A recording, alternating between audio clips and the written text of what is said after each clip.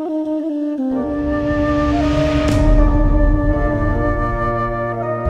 ولي 24 هركه ولحظه اللي شغلها طرايو بس نقى نقى حدو بس. ما أنا لك سنه البولو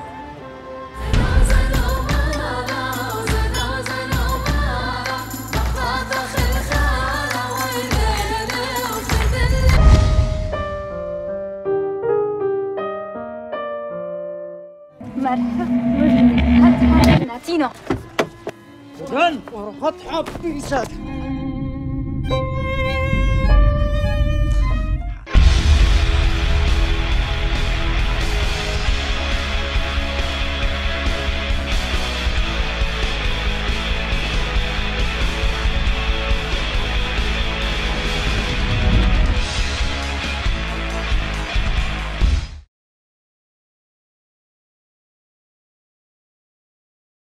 في أول شيء شغلة بدي أقولها إنه يعني كثير صعب بالنسبة لي إني أعبر عن قديش أنا ممنونة إني أنا موجودة هون وقديش أنا بشرفني إني أكون هون. آه يمكن أنا الوحيدة بالغرفة يلي ما ربيت بالكنيسة السريانيه آه رح أحكي لكم شوي عن عن حالي عن شو شو بعمل وليش ليش أنا هون. آه بس بالبداية بدي بدي أقول لكم قديش أنا كثير سعيدة يعني إنه أنا هون. السبب اللي بي- بيخليني جيت اليوم هو آه، إني أنا بدرس الترتيل السرياني تحديدا. آه، اهتمامي بهذا الموضوع آه، آه، بلش بعد ما تخرجت من المعهد العالي للموسيقى بالشام بدمشق كنت بعزف كمان. وكانت ثقافتي الموسيقية وتربيتي الموسيقية غربية بحته وهي النقطة مهمة ورح رح أشرح ليش بعد شوي. بس خلصت دراستي بالمعهد وطلعت آه، على أمريكا لحتى على أوروبا شوي بعدين على أمريكا لحتى أدرس عزف. صار عندي اهتمام بالعالم القديم.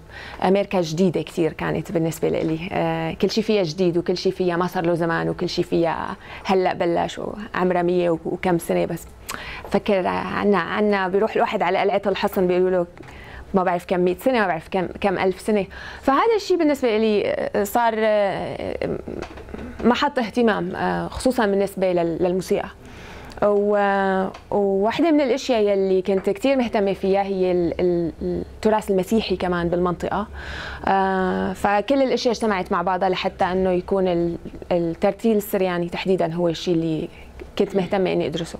فوقت اللي اخترت وقت كان لازم أختار موضوع للماجستير ب- بأمريكا مع إني كنت عم بعمل ماجستير بال musicology بعلم الموسيقى ال- الغربي. آه، آه، اخترت الترتيل السرياني وأستاذي شجعني لأنه هو كان عنده آفاق منفتحة جدا مع إنه ما عنده خبرة عن هذا الموضوع ابدا. بس هو كان مهتم بالدراسة الترتيل chant chant scholar بيعمل الترتيل ال- الأوروبي. واللي هو كان أساس للتطور بالموسيقى. وبداية ال polyphony وال harmony اللي هي لما تحولت الموسيقى بأوروبا من إنها تكون لحن واحد لأنها صارت عدة ألحان وبعدين صارت آه، عموديا آه، نوع آه، الهارموني علم الانسجام والتناغم. كمان هي النقطة مهمة ورح رح آه، أرجع لها بعد شوي. فوقت اللي آه، آه، كنت عم بشتغل بال بال آم، بالطريقة التفكير الغربية وبالمناهج الغربية أم، رحت على أه، سوريا بدي بدي أدرس ترتيل سرياني. أه، ما في نوطة. أه، ما في كتب منشورة عن هذا الموضوع أو أبحاث. وفي في كان أبحاث ودرستها قريتها كلياتها. بس ما كان في ناس عم تكتب وكنت كنت لقيت حالي وحيدة بال- بالحل آه، فوصلت على على محل على الإنترنت فيه ناس عم يدرسوا سرياني هوغوي يمكن بتعرفوا هوغوي آه، وتراسلت مع كل شخص على هوغوي كان عم يعمل أي شيء له علاقة بال بالليتورجيا. وكلهم كان جوابهم آه كثير حلو اللي عم تعمليه بس أنا ما بعرف شيء عن الموسيقى ابدا. آه إذا بدك بنحكي عن شعر بنحكي عن أفلام بنحكي عن كذا فكثير كان آه، ما في حدا. آه، فبالنتيجة يلي صار إني رحت وقريت كل المراجع الموجودة وكل الأشياء الموجودة عن الموسيقى. وملفونو سردنابال اليوم أعطانا فكرة كثير واضحة عن الموجود. آه، في أشياء تانية كمان كتبت بعدين آه، كتبت آه، وراح أعطيكم أمثلة منها بالقرن العشرين معظمها. وقريتهم كلهم وسمعت شوية أشياء بالكنيسة السريانية وما عجبني اللي قريته. لأنه ما وضح لي شو عم بسمع بالكنيسة. وهي نقطة كمان كثير مهمة آه، رح رح أرجع فيها لعدة أشياء انحكيت بال, بال اليوم ومبارح المساء. ففي كلمتين من خلال هالكلمتين رح أحاول أوصل لشيء هني هني كلمتين معتبرين بالعالم الغربي الطريقة يلي الغربي بيدرس فيها الموسيقى. دراسة الموسيقى اسمها ميوزيكولوجي في مرحلة ما بتاريخ دراسة الموسيقى الغربيين بلشوا يطلعوا على الشرق. بالحقيقة الغربيين بلشوا يطلعوا على الشرق من أول ما بلشوا يدرسوا الموسيقى علميا. كان في مستكشفين كان في عدة ناس طلعوا من الغرب وراحوا على مناطق العالم اللي لس اللي أقل تطورا من الغرب. وكل ما راقبوا شيء كانوا يكتبوا عنه ويحكوا عنه ويبعثوا هالمعلومات لبلادهم فيلي يلي عم يدرسوا موسيقى بالغرب. آه بلشوا يطلعوا على هاي المعلومات وبلشوا يقولوا أوف لما هدول اللي اللي بالشرق بيغنوا نشاز. يلي باسيا هدول آه، آه، همج. يلي بافريقيا هي اللغة فعلا يلي كانت مستخدمة وكله بيغنوا وبيعيطوا وكذا ف في مرحلة معينة بلشوا الموسيقيين يقولوا لا أنا بدي أروح وأنا بدي أسمع. شو عم يقولوا هدول الناس؟ فراحوا صاروا يقعدوا مع مع المجتمعات اللي بدهم يدرسوا الموسيقى تبعيتها وصاروا يتعلموا منهم يسمعوا منهم ويتعلموا منهم.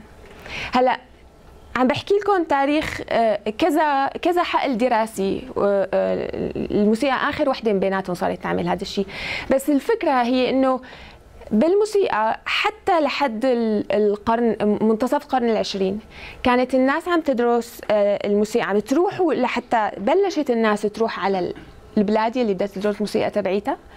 ولكن اللي درسوا سرياني كانوا لساتهم عم يدرسوا سرياني يعني عم يتحاولوا يطلعوا على الأمور السريانية من من مكانهم. في طبعا آه، آه، استثناءات لهذا الموضوع وراح أحكي عنه هدول الاستثناءات. في ناس من ألمانيا وناس من آه، فرنسا وناس من إيطاليا. درسوا الترتيل السرياني راح احكي لكم اليوم أكثر عن ناس من فرنسا بشكل رئيسي لأنه أنا بقدر أقرأ فرنسي أكثر بكثير ما بقدر آه، أفهم ألماني فعندي عندي فكرة واضحة عن شو عملوا. فأول واحد كتب عن الموسيقى السريانية بالغرب آه، اسمه اندري جيوم أندري فيوتو. هذا كان رايح مع بعثة سبقت نابليون. يمكن بتعرفوا هاي القصة. نابليون قبل ما يروح يحتل مصر بعت بعثة علمية شاملة لتمسح له تعمل دراسة مسح كامل للبلد. لأنه قال إنه إذا نروح نحتل بلد ناخذها بدنا نفهمها. وبعت أحسن العلماء عنده لحتى يدرسوا كل المجالات. فجيوم أندري فيوتو راح ودرس الموسيقى وكتب عدة كتب عن كل أنواع الموسيقى يلي لقاها. فمن خلال كتابته عن الموسيقات الناس الغريبين أو الأقليات كتب عن السريان والأرمن واليهود. وكتابته عن السريان اليوم هي أول شيء على علمي وإذا حدا بيعرف شيء ثاني آه، بتمنى تخبروني. هي أول شيء أول سجل مكتوب عنا لدراسة الموسيقى علميا لدراسة الموسيقى السريانية علميا. فيوتو على على علمه وكل شيء كان منيح باللي عمله كان عنده مشاكل كثير كبيرة بال بال بطريقته بال بالاتجاه العلمي تبعه. ما رح ما رح مل مللكم بالتفاصيل تبع هذا الموضوع بس رح رح أعطيكم مثال عن ليش كتابة فيوتو مشكلة. ووقت اللي عم بحكي هذا الشيء خلونا نخلي ببالنا إنه هاي المشاكل آه، طبعا رح يكون واضح إنه ورح أشرح لكم إنه وحدة من هدول المشاكل انحلت بالكتاب الثاني اللي اجى بعد فيوتو. بس هي نوع من المشاكل موجود وعم يحصل وما زال بيحصل واحتمال إنه يحصل كثير طبيعي. لما أي حدا بيدرس موسيقى حدا ثاني الموسيقى تبع حدا ثاني تبع ثقافة ثانية تبع بلد ثاني تبع دوزان ثاني تبع كل شيء ثاني ففيوتوك راح ودور بمصر وبالإسكندرية وبرشيد وقال ما لقيت بكل هالبلاد مع إنه عم يحكي عن شعبها مع إنه عم يحكي عن شعب سرياني ما لقيت بكل هالبلاد واحد بيعرف أصول الموسيقى السريانيه غير خوري. ما بيقلنا مين هو الخوري. بس بيقلنا إنه هذا الخوري غنى له وعلمه وهو رح ينقل تماما شو هالخوري علمه. وبيقول إنه الخوري علمه إنه أصل الأساس الموسيقى السريانيه هو شيء اسمه مشوحته ومشوحته فيوتو اللي عم يحكي مشوحته هو نوع من أنواع الموسيقى وفي نوعين واحد أفرامي وواحد يعقوبي. بياخد ثمانية بي- بي- بينوطهم بيقول هدول الأفرامي آه قد مويوت رايونو إلى آخره وثمانية بينوطهم هدول تحت اليعقوبي.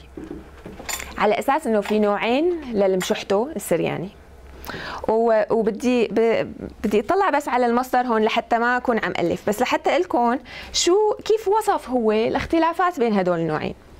واحد منهم آه، قال هذا آه كل واحد من هدول النوعين له صفات معينة لأنها بتشبه الجيران جيران الأساس تبعها بلد الجار. بلد الجار تماما فواحد منهم هو ال ال ال الأفرامي.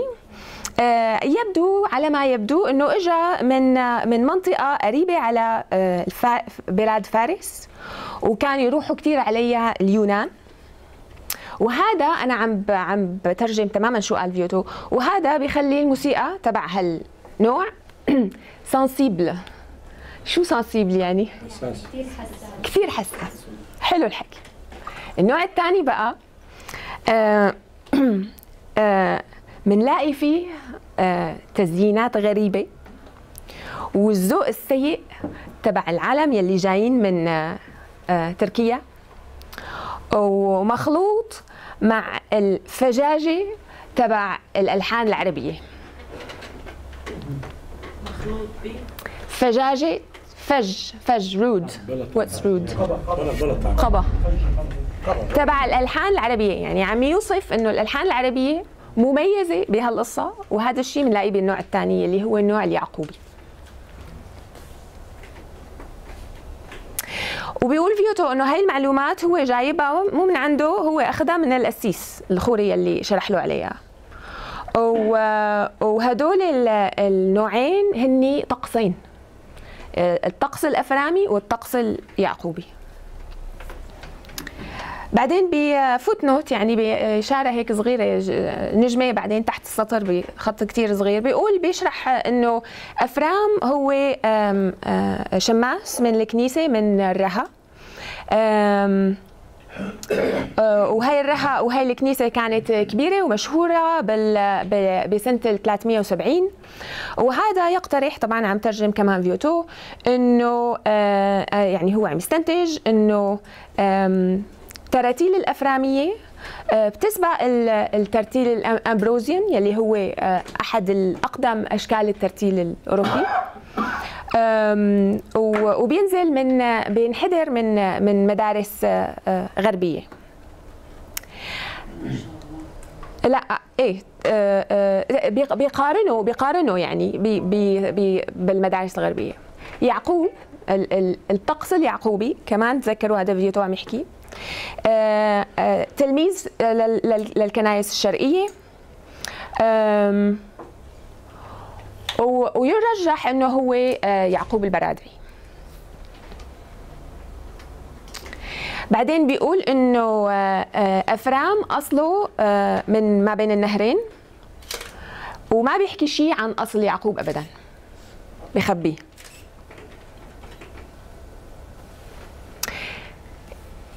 ما في حدا بالكنيسة السريانية بيقول إنه افرام أفرام غربي ويعقوب ش... يعني هذا الكلام كله غير ممكن إنه يكون الخوري قال له إياه لفيوتو غير هيك مشحته معنا طقس. كلكم يعني بتعرفوا اليوم سمعنا مشحته هي شيء له علاقة بال... بال... بالقياس ال- بال... بال... المجر الوزن. شكرا. الوزن الشعري الشحنة والشيحة وهو آه، ما فات بهي الأمور ابدا. هذا كل شيء فعلا هذا كل شيء قاله. يعني حكى شوية أشياء تانية ما بت ما بتفسر. وما شرح شيء عن نوع ال- المقام ال- أنواع الألحان ثمانيه أو أو ليش في أول وثاني. ما قال شيء عن هذا الموضوع منه محمود جاب ju något att مطبعة يعني بكثر 1800 محاطبة ولا نوتا نعم. 1809 تمام. بنوتا وبليشون سبيوري سكلوتو حتى. أترينا موجود إيه موجود. موجود بيقدر واحد يلاقيه على الإنترنت على. المكتبه الفرنسية.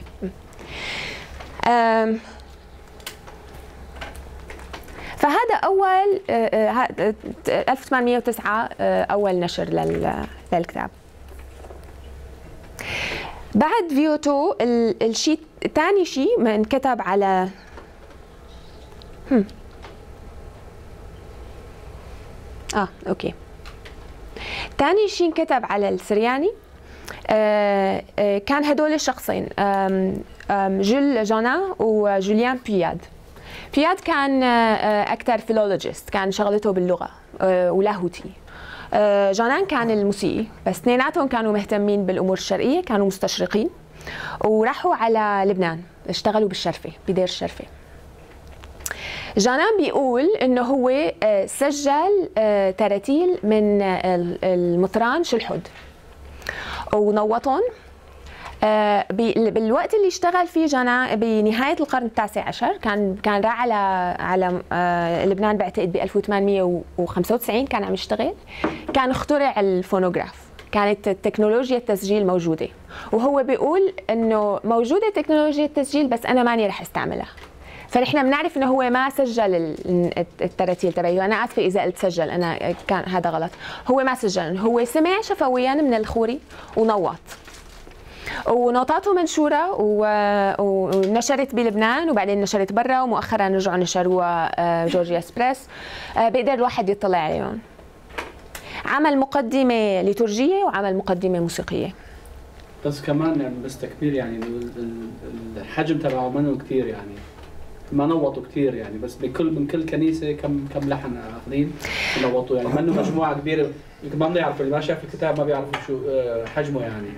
بتصور بيقول إذا ماني إذا عم بتذكر صح بيقول إنه نوت حوالي 700 لحن 700 أو 900 لحن أو شيء من هيك. والكتاب سميك ال- التنويط سميك المقدمة الليتورجية نحيف بس المقدمة ال- الموسيقية سميك وما بيقول شو المدارس اللي استخدمها. بيقول إنه حكى مع المطران شلحد وإنه المطران شلحد بيقول وين سافر المطران شلحد فبالتالي هو عنده معلومات من من رها هو متعلم على أساس ال- الكنيسة الرهوية بس هو كاثوليكي آه، متعلم عند كذا متعلم فبيقول إنه سافر على عدة محلات نوعا ما لحتى يقول إنه أنا بعرف إنه لحتى واحد يكون مرجع بالترتيب السرياني لازم يكون راح وتعلم هدول الأشياء ومصدري هو شخص عنده هاي المرجعية. فعم عم يعمل نوع من ال credibility يعني بدك تصدقه لهذا الزلمة. بس ما بيقلنا شو هي المدارس اللي عم ينوطها. هي نقطة كثير منيحة شكرا لأنك ذكرتها. ما بيوضح لنا شو هي المدارس اللي عم ينوطها. ومثل ما بنعرف اليوم كثير بيفرق شو المدرسة يلي أخذ منها هاللحن ولا هاللحن. بس لسه المشكلة الأكبر يعني آه, آه ونسيت لكم إنه صلح له غلطته لفيوتو شرح بالمقدمة إنه مشحته ما نطقس مشحته هي وزن. آه وشرح إنه الموسيقى السريانية فيها مشكلة بالنسبة لنا مشكلة صعبة يلي هي ال ال خلينا نسميها مجازا أرباع التون. بشرح لكم هلأ للي لل- يعني طبعا الموسيقيين بيعرفوا. يعني الاجزاء الأجزاء الصغيرة يعني الت- الأجزاء الصغيرة من التون هي مشكلة بالنسبة لنا إحنا الغربيين يلي قدرنا متعودة على التون ونص التون صوت ونص ونص الصوت. ولكن هي الأمور كمان بياد بي آه، جانان بيقول بال- بالمقدمة إنه هي الأمور يعني آه، ممكن الواحد إنه يهتم فيها وممكن يطلع عليها بس يعني أنا آه، آه، آه، تنويطي كان آه، بدقة عالية جدا. أنا نقلت بامانه شو غنى لي هذا الخوري. بقلب الواحد بالمية وشي صفحات اللي 120 100 وما بعرف قديش اللي فيهم التراتيل ما بيلاقي ولا ربع. ولا ربع بيمول ولا ولا رب ولا ولا نص بيمول ولا نص دياز في في يمكن اللي بيكتب ال- الرمزين ب footnote كمان هيك نجمة صغيرة تحت بآخر سطر إنه بيستعملون هدول أحيانا بالموسيقى الشرقية بس بس نحن هون ما رح يعني يعني موجودة هي المشكلة بس ما رح اتعامل معها هلا. في سبب حقيقي هو يعني ما عنده ال- ال- ال- ال- المقدرة ولا عنده الخبرة ولا بيعرف ال- ال- الألحان ولا عنده وهي بعتقد هي أكبر شغلة نحن يعني هون هذا الاجتماع لازم يكون واعي لأنه هدول الجماعة لما بيدرسوا شيء عندهم علبة فيها أدوات. بيطلعوا الأدوات بيحطوا الشيء اللي بدهم يدرسوه مثل واحد عم يشرح. بحط الشيء اللي بده يشرحه وبيطلع الأدوات. كل أداة لها شغلة. لما بتقص الإجرة للضفدعة بدك تستعمل هي لما بتقص. هيك كمان العلم بيش- بيشتغل بال- بالموسيقى. في أدوات أدوات العلمية. آه ال- الطريقة الأشياء يلي بنستخدمها لحتى نفهم الأشياء اللي عم ندرسها. ما عنده أدوات تسمح تسمح له إنه يفهم الربع التون. ما بيعرف كيف يتعامل معه. فوصفه بطرق ما. وكان في شيء كثير حلو كتبه بالمقدمة إنه ذكر واحد اسمه آه آه آه ما بيقول اسمه الأول جي بسميه بحرف الأول غبوغ غبوغ كتب كتاب عن الترتيل البيزنطي قبل هاد وقال فيه آم، التنويط لما نحن بننوط الموسيقى الشرقية آه، بنكون مثل اللي عم يرسم لوحة بدون ظلال. وبس بيقول هيك جنى. وهي النقطة كثير مهمة لأنه عم يرسم لوحة وعم يرسم شيء بس. لما عم يرسم يعني تخيلوا لوحة بس راحت منها الظلال. أي لوحة؟ ما بيقدر الواحد يفهم البعد ما بيقدر يفهم العمق ما بيقدر يفهم الضوء. في كثير أشياء بتروح من اللوحة يلي لها علاقة بكيف هي اللوحة بتمثل شيء ثلاثي الأبعاد. وبالحقيقة الم- الموسيقى شيء أكثر من ثلاثي الأبعاد. فلما لما لما الخبراء عم يقولوا إنه نحن عم عم نكويه عم نختصر منه كثير أشياء. فهذا الشيء بدلنا على إنه طب في شيء لسه ما نعمل. وما رح مل لكم أكثر بالمصادر بس لبعد كم سنة لقدام بس الناس صاروا آه، يتعاملوا أكثر مع ربع التون. آه، صاروا يضطروا يتعاملوا مع شو موجود. كمان علبة ال- الأدوات ما في عندهم أدوات فيها لربع التون فراحوا على آه، آه، مثلا آه، مؤتمر القاهرة ملفونو ذكر مؤتمر القاهرة عام 1935 32 مؤتمر القاهرة ب 1932 اجتمعوا فيه موسيقيين عرب من كل العالم العربي وموسيقيين من العالم الغربي اللي مهتمين بالعالم العربي. وقعدوا تناقشوا بهاي الموضوع بعدة مواضيع طبعا. و... وما لسه لليوم بالموسيقى العربية هذا الموضوع ما مصطلح عليه ومثبت وهذا آه، آه، موسيقيين العرب بيعتبروه آه، بنفس الوقت نعمة ونقمة. نقمة لأنه ما فيهم يروحوا لعند اليابانيين يقولوا لنا اعملوا لنا أورج يمشي لعند كل الناس. هلأ صار الأورج الياباني طبعا تطور كثير بس من 20 سنة كان في الأورج اليا- يعني الأورج الربع يلي هو بجنن الواحد ما بيقدر يتحمل إنه يسمعه يعني من كثر ما ما بيشبه ولا شيء تمام. فهي مشكلة موجودة ولساتها هي المشكلة موجودة. آه بين قوسين. هذا بيذكر بعدة أشياء انحكت اليوم وامبارح آه هذا الموضوع أنتوا أنتوا أنتوا بدكم تحلوه. يعني كثير كثير مهم إنه ننتبه إنه هي أول مرة بالتاريخ فعلا بيجتمعوا ال- الناس اللي بيشتغلوا بالموسيقى السريانية وبيقولوا يا جماعة نحن عندنا هاي الموضوع لازم نصطلح عليه شيء شيء ما. من عندي ما راح أقترح شيء بس هي بس بدي اقولها هي النقطة إنه هي أول مرة فعلا بال- بالتاريخ يلي بيكون هذا الاجتماع موجود. وهي هي القصة في ناس مثل التراك حلوها تماما مثل ما كان عم يقول ملفونو اليوم عندهم تسع كومات الأشياء معروف بتختار بتنقي في أساليب في روح في طعمة في نكهة في هذا الحكي كله. بيمشي بقلب التسع كومات ما ما بتلعب فيهم كثير حتى في نصاص كمان نصاص بس بس في قياس في مسطرة. العرب ما ما اتفقوا عليها هي المسطرة فمرات بيستعملوا المسطرة التركية مرات بيستعملوا المسطرة المحلية بكل الأحوال المسطرة الحقيقية هي هون You have five minutes. Okay, thank you very much for the 2025. فخليني أحكي لكم مثلا آه، آه، وحده من ال- الغربيين طبعا واعيين لهالقصه آه، بس بس كمان يعني ما عم يصطلحوها بالمناسبة وحده من الخناقات ال- بمؤتمر القاهرة كانت إنه الشرقيين عم يقولوا بدنا نثبت القصص والغربيين عم يقولوا لنا لا لا تثبتوها لأنه نحن بنعتقد إنه الموسيقى الغربية خسرت كثير لما ثبتتها. من ناحية هذا رأيي. في رأي تاني بيقول آه، لا لا تثبتوها لأنه هي الخصوصية تبع الموسيقى الش- الشرقية تبع الموسيقى العربية. لا تثبتوها لأنه بصير كذا وكذا. في كمان هي قصة طويلة يعني شغلتها كبيرة. بس يلي بقي هلأ إنه الناس بتحكي فيه هو ال mode ال mode يلي هو المقام. كيف واحد بيفهم موضوع المقام؟ وهذا ما زال مشكلة. فهي هي شقفة صغيرة من ال...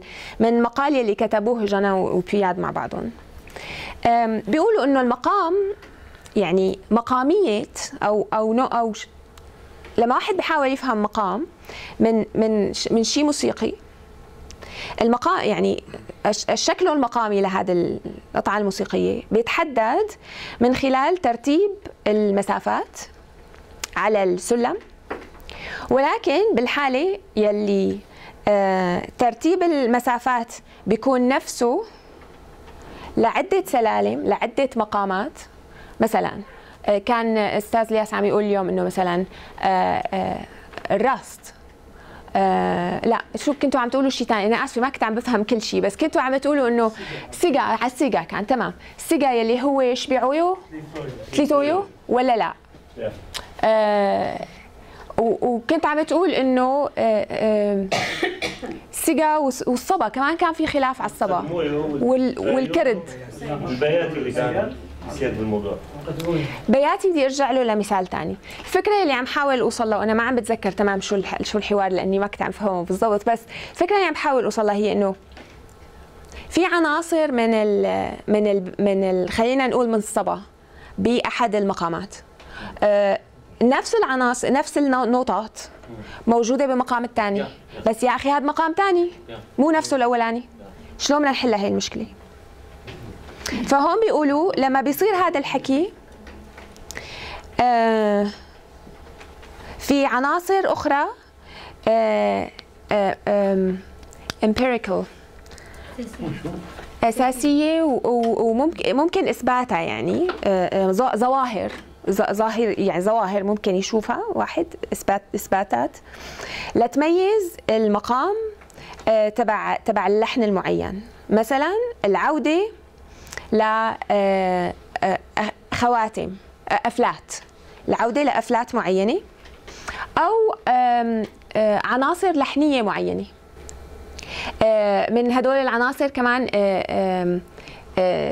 سيطرة بعض و- وأخيرا ال- النقطة نقطة الارتكاز. النقطة النهائية. الارتكاز.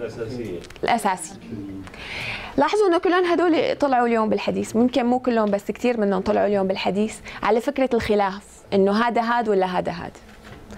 واعيين لون هون بس ما كتبوهم لويس حاج أبونا لويس حاج آه، يلي ترك العالم من فترة قصيرة مع كل أسف آه، كتب على فكرة مثلا ال ال الشخصية الشخصية اللحنية يلي بتطلع من من فورمولا معينة مثلا آه، المقام برأيه المقام السرياني هو مقام له قوالب مقام قالبي يعني في قوالب لحنية صغيرة بس تتكرر بمحل معين بيكون هدول صفات لمقام معين. في ناس قبلوها لهي النظرية في ناس ما قبلوها.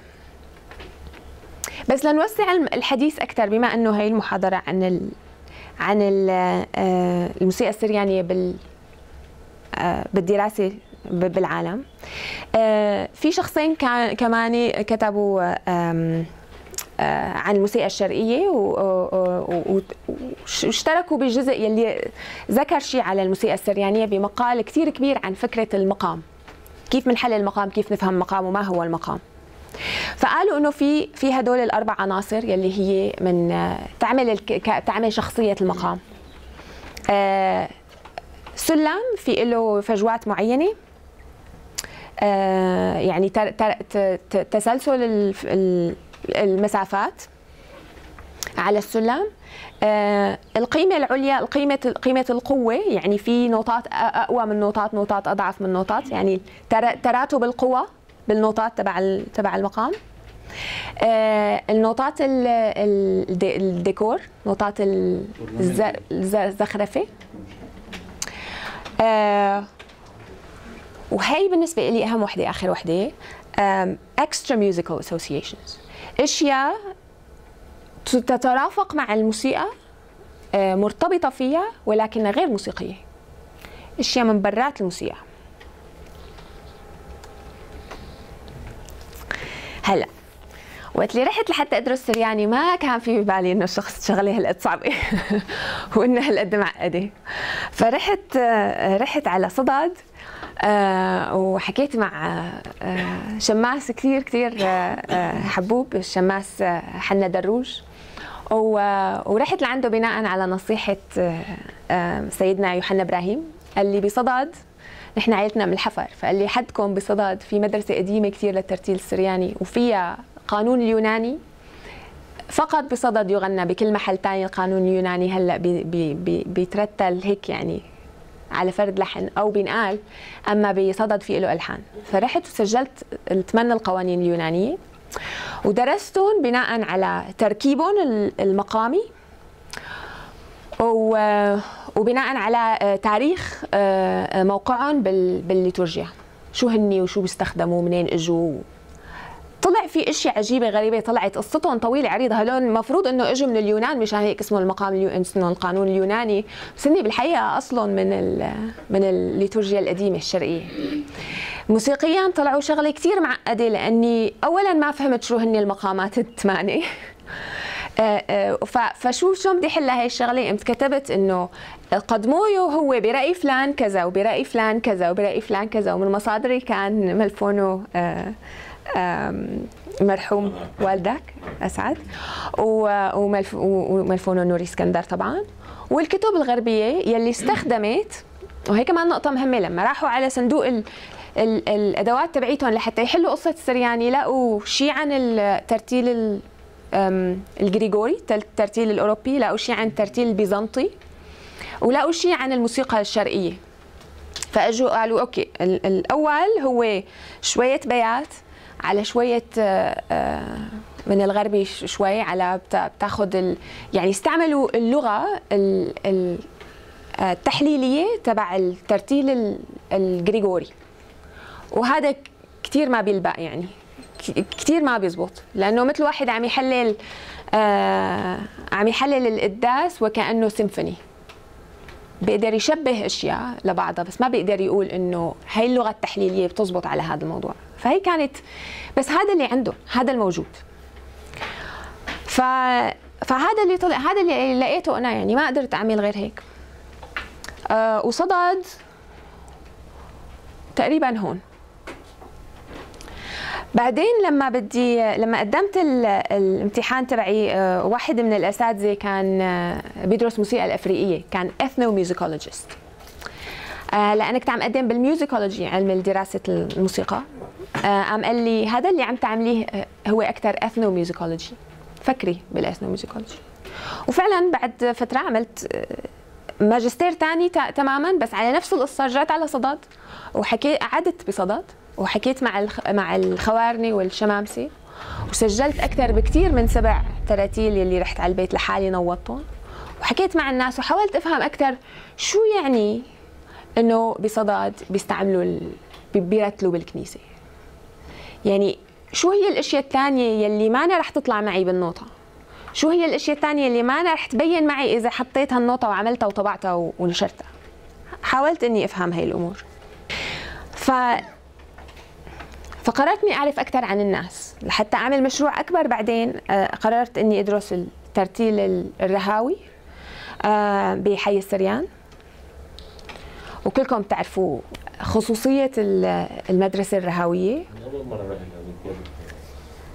إيه بس ما كنت ما كنت بعرف كفاية ما كان ما كان عندي وقت. هيك هاي مشروع كبير كان اخذ كذا سنة. و أبونا قال شيء كثير كثير كثير مهم اليوم. لما كان عم يحكي على الكنيسة شو صار فيها الشعب شو صار فيه؟ هذا الشيء مو قليل إنه الشعب لساته موجود. مو قليل ابدا إنه أنتم هون. مو قليل ابدا إنه أنتم عندكم هالغيرة. يعني في عنا من من جيل أبونا لا يمكن أنتم أصغر ناس بال- بالقاعة. هذا الشيء هذا الشيء كثير حلو هذا الشيء رائع. هذا الشيء بيقول إنه الترتيل السرياني والموسيقى السريانية وكل أشكال الموسيقى السريانية حملتوها أنتم حملها هذا الشعب وخباها. مو مشكلة ابدا إنه ترتيل السرياني ما انكتب لأنه ما كتبوه لأنه كل شيء انكتب بيضيع آه، السريان بحلب لما إجوا من من أورفا آه، حافظوا على المخطوطات تبعيتهم على انها كنز. بس مع هيك عم تضيع. ضاعت. كل شيء بينكتب بيضيع. الشعب السرياني شعب عاش وقضى لدرجة إنه بيعرف إنه إذا ما هو بحياته حافظ على الأشياء ما ما بتنحفظ. فالتقليد الشفوي هو أحسن طرق الحفاظ بالنسبة للتقليد بالنسبة للسريان. ولولاه أبونا كمان كان عم يقول اليوم قال إنه أنا لما بفتح هالكتاب وبيطلع معي اللحن هيك أنا متأكد إنه هيك نقلوهم من قبل. وهذا الشيء كثير مهم. هي نقطة كثير أساسية.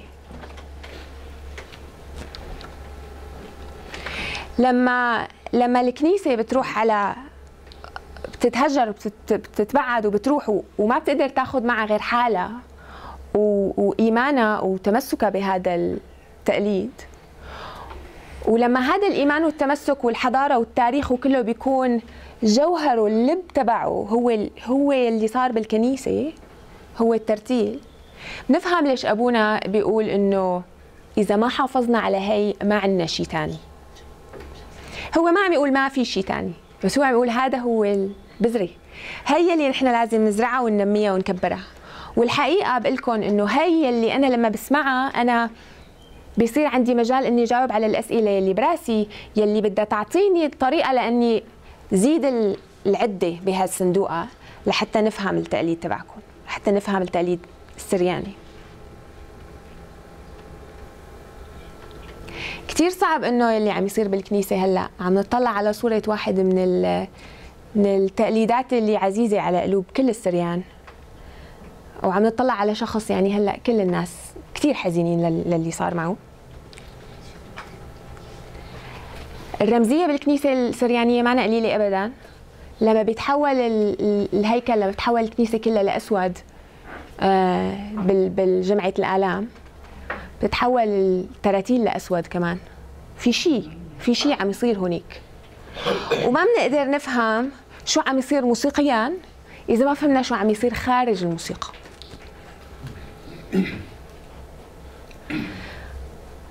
بقدر أحكي كثير بس أنا قررت إنه ما بدي أحكي أكثر من من 30 دقيقة أو تجاوزتهم. بس آخر فكرة بدي أقول لكم إياها. آخر شيء بدي أتركه معكم هو إنه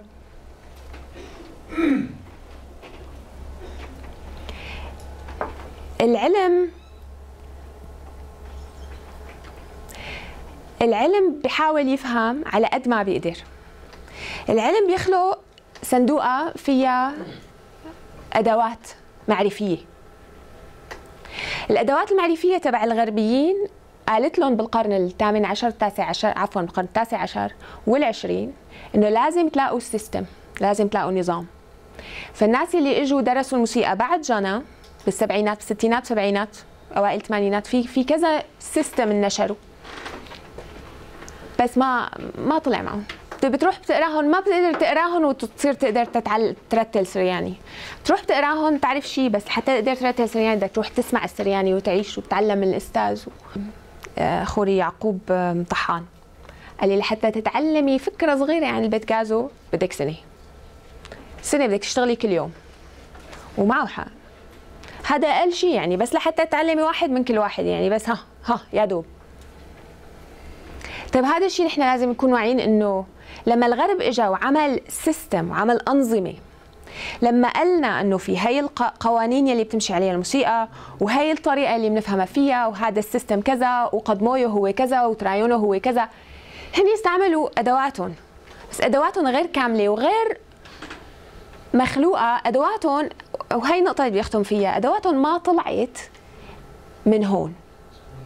لحتى الغرب أو الشرق أو أنتم أو أنا أو أي حدا يفهم الموسيقى الشرقية ال- السريانية تماما بده يلاقي لها أدوات تطلع منها تطلع منكم من عندكم. إذا هذا بتقدروا يكون ببالكم هو واحد من الأشياء بتقدروا تناقشوها بهذا الاجتماع. آه بتكون هاي مساهمتي الصغيرة للحوار.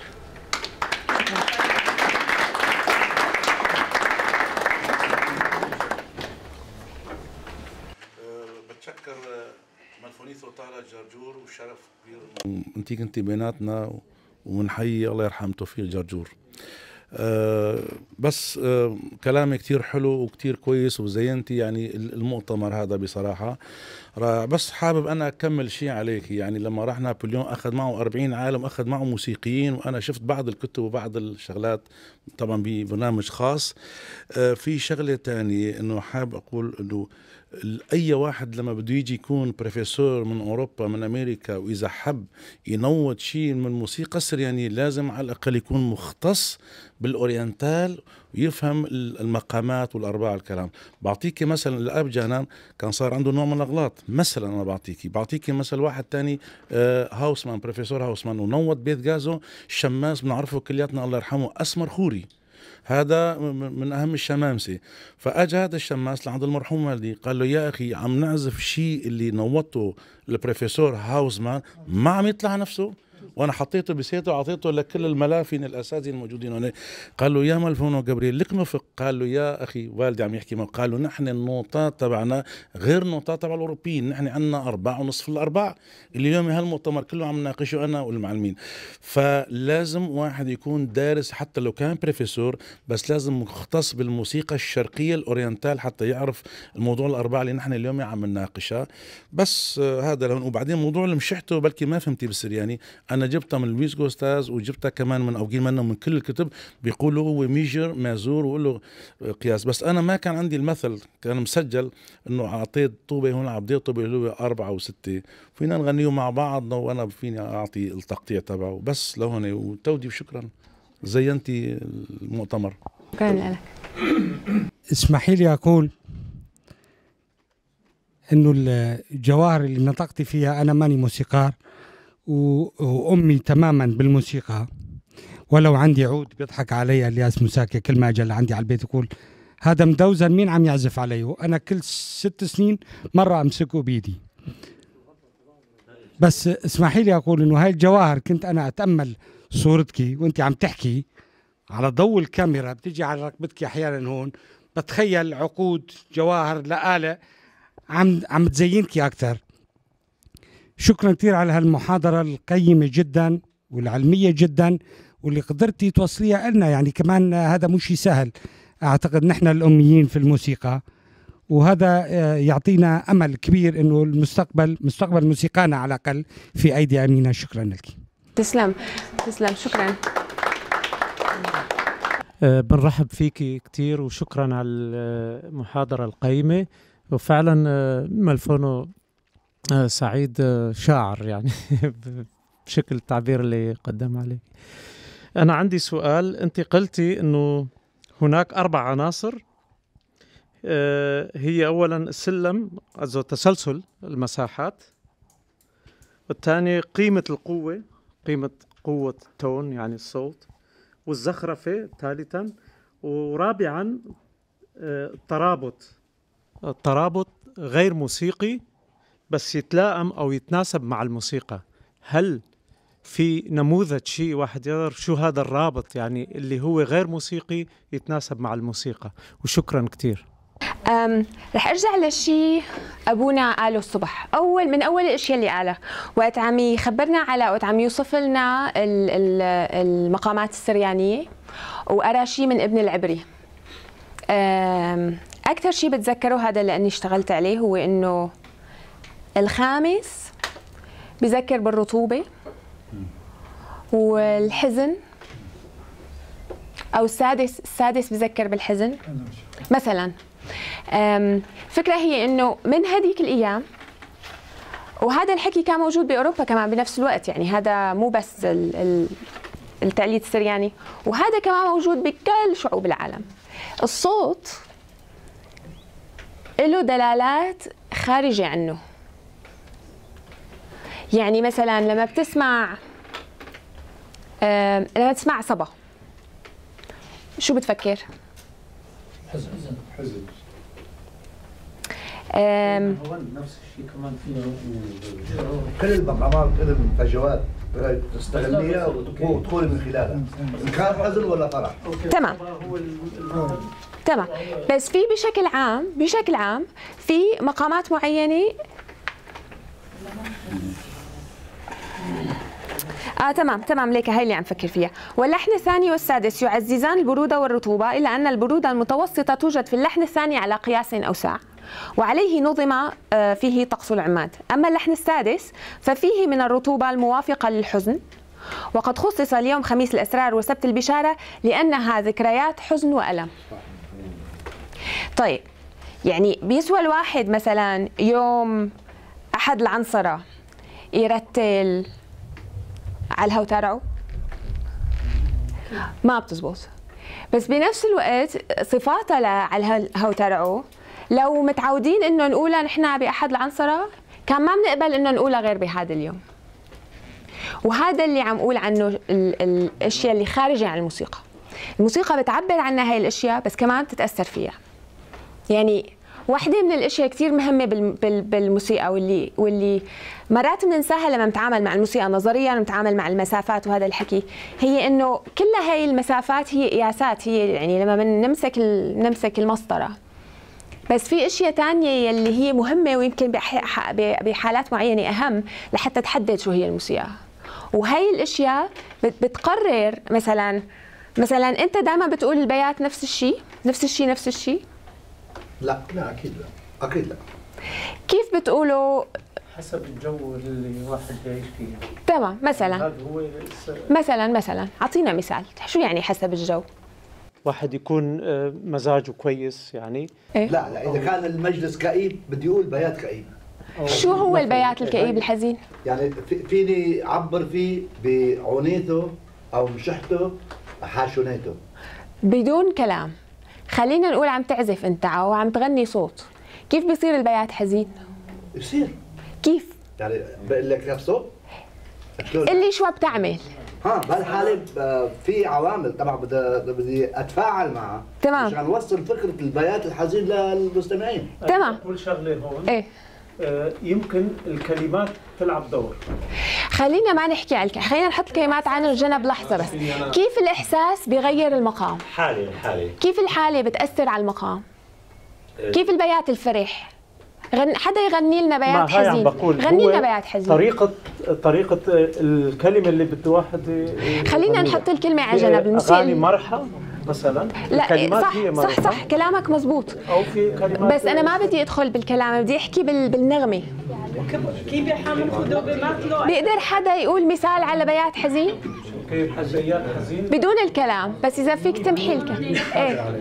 ويلان ويلان من ماطية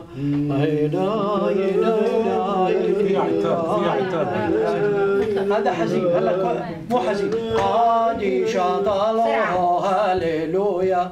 قادي هذا حاجة طيب طيب. أنا ما بعرف ب- يعني بعرف الثانية بس ما بعرف الأولى. خليني أقول لك أنا شو سمعت. بالبيات الحزين ما كان في ولا نوطة بيقدر واحد يحطها على البيانو ويعزفها. هي هي هون. كلهم كانوا زاحلين شوي. بالبيات بالبيات الفرح بقدر دوزن لك إياهم وبنعزفهم. عم تطلع عليها وعم تنزل عليها نفس بيشبهوا بعضهم. واضح. واضح الدوزان يعني هذا- واضح هذا مثال. الترابط الغير موسيقي هذا مثال. اللي بيدخل احد أحد الأمثلة. وقس على ذلك. كثير في كثير أشياء في كثير أشياء. عيدي ال- باختصار الفكرة عيديها شو لشو كانت لشو توصلتي ضيعتينا. هون طيب طيب طيب. ممكن أنا أضيف شغلة شوي بس هيك تفضل إيه. بس من بعد آه، يعني أنا الشيء اللي تفضلته كلياتكم مزبوط وعطى الملفون وأنت أعطيتي. في بعض المقامات بتعطي الحزن مثل ما قلتي الصبا. مثلا أيام الحاشو كلياتنا بنعرف من الصبا هذا. ولا يمكن مثل ما قال عبد الوهاب نلحن أغنية كاملة على الصبا إذا كان 20 أو نص. نص ساعة. في مثلا مقام العجم اللي هو الماجور. معظم دول العالم بيلحنوا على مقام ال majeur العجم لأنه فيه عظمة الدولة. فأغلب دول العالم بيعملوا مارشات على مقام ال do majeur أو si bémol majeur اللي هو فيه عظمة الدولة. في بعض منهم بياخذوا النهاوند اللي فيه نوع من العاطفة وقليلا من الرست. فبضل عطى مثل كثير حلو مثل ممكن البيات يكون فرح مثل فريد أطرش اغلب أغانيه كان بيحط الفرح والكذا المواويل فيها حزن. إذا كان شكلين من أيام البيات إذا الموال تبعه فيه حزن البيات وإذا كان مثلا الاغنيه راقصة مثلا فممكن المقام نأخذه بشكلين يعني ذات شكلين فكل مقام عنده ميزة. تمام تمام. هي وحدة من الأفكار الأساسية بهذا المجال. يلي هي إنه آه، في في أشياء يعني هلأ الميزة العاطفية تبع المقام يلي بتجي من استخدامه هي شيء بس كمان شو شو اللي بيحدد هذا المقام شيء مثلا في مرة بالكنيسة كانوا عم يقولوا شيء وقالوا هذا آه، هذا بيات آه، قلت لهم لا هذا مو بيات هذا ترايونو. قال لي إيه ترايونو؟ بس بيات قلت له بس مو أنت قلت لي هلا إنه البيات قدمويو قدمويو بيات قال لي إيه هذا بيشبه قدمويو بس هو ترايونو. فالفكرة هي كانت إنه طب أنا فهمت عليه شو شو ترايونو بس ما فهمت عليه لما قال لي بيات يعني شو ما كان يلي أنا فهمته أنا فهمته من خلال اللي قالوا مع الترايونو أنا ربطتهم مع بعضهم مخي ربطهم مع بعضهم هيك. مثل ما سمعتهم بالكنيسة مثل ما الناس بتستعملهم. طب لما إجينا قلنا بيات أنا حول مخي على قدمويو لأنه امبارح كان قايل لي قدمويو هو البيات. طب ثاني يوم قلت له هاد بس هاد مو بيات. قال لي إيه مزبوط مو بيات. قلت له إيه بس هاد ترايون قلت يعني عرفت فهذا قصدي. شو هي الشغلة يلي تظبطت معي وقتها؟ ما بعرف. الصراحه ما عاد زبطت معي بعدين بس يعني. بس الفكرة اللي عم حاول أقولها هي إنه في أشياء بيتعلمها الواحد وبي وبينقلها. وهيك صار. مت... أبونا هيك كان عم يقول اليوم الصبح. هدول جماعة الكنيسة لما نقلوا وتناقلوا وتعلموا وألفوا و... واستوحوا وابدعوا في شيء عم يصير. لسه معلميا ما عرفنا نشرحه. أنا آسفة لازم نوقف بس نحكي بعدين. شكرا.